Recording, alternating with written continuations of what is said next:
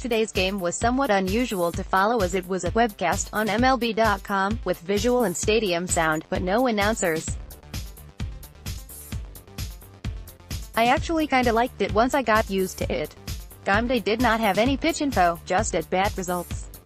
Pitch info on game day would have been helpful perhaps. Adam Jones was the hitting star, leading off the game with a solo home run to left-off Dodger starter Dennis Santana.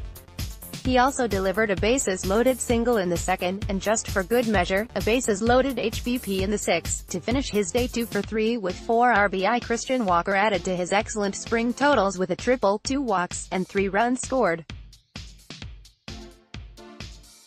Matt Koch however was probably the biggest story of the game, as he pitched into the sixth inning. This was his best outing of the spring.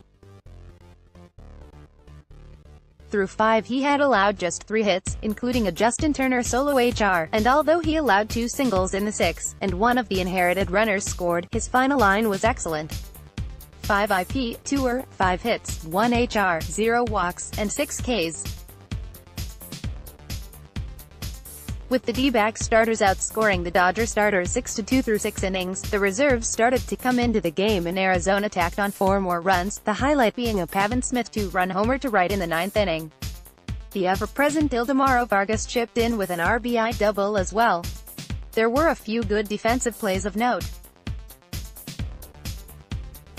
Steven Souza Jr. had two running catches coming in, one in foul territory in the first, and another to snag a blooper behind 2B and shallow RFS three fielders converged. I was thinking don't dive don't dive, and fortunately he didn't.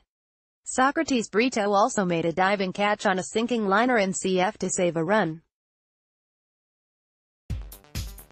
The D-backs face the Giants tomorrow at Scottsdale Stadium at 1.05 p.m. Robbie Ray gets the start in his final spring training tune-up.